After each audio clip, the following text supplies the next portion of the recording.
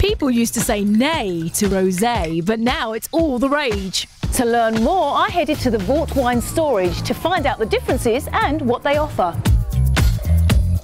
Sommelier Mark Massimi paints a rosy picture. So, Mark, rosé is becoming very, very popular.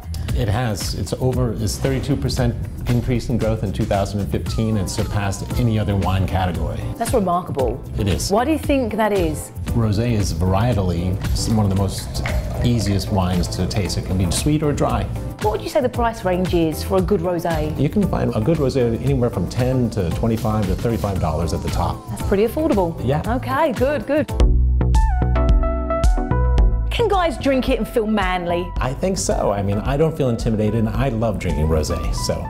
That's good news because my boyfriend's from Dublin and he always says, don't tell the boys back home that I'm drinking rosé. He has to put down the Guinness. He has to get, he has to. Mark and I tried three different varieties. First, the classic. This one hails from the birthplace of rosé, Côte de Provence in France. Hmm. Now that is delightful, very easy on the palate. What does this pair well with? Very versatile. Fish, chicken, any white meat. It goes fantastic at the table.